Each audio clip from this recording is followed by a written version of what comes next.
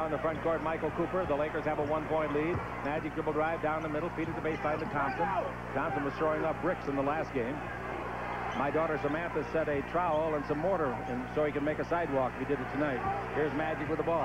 Magic down the middle, hook shot of eight. Over Eddie Johnson is in there. Magic. Up on Magic. The big strong kid at six six. Magic on a pick and roll. Give the ball to Thompson. He's underneath. Blows it. Didn't draw iron. He was bothered a little bit by Chambers. Halftime on radios Stu an I. Here's a pick and roll under to Thompson. He's under there and didn't draw iron again.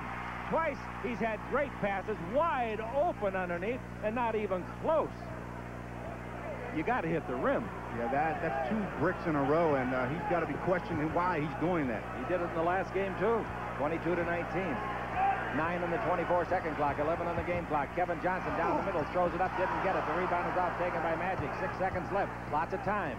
Magic held up in the backcourt smartly by Kevin. Magic having trouble with the ball. He finally got it off. It's good!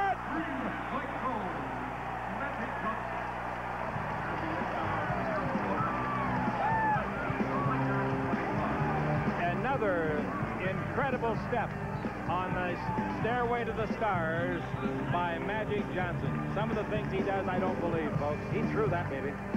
Yeah, threw it right in the basket. on the world champion Lakers. Basketball, most valuable player network.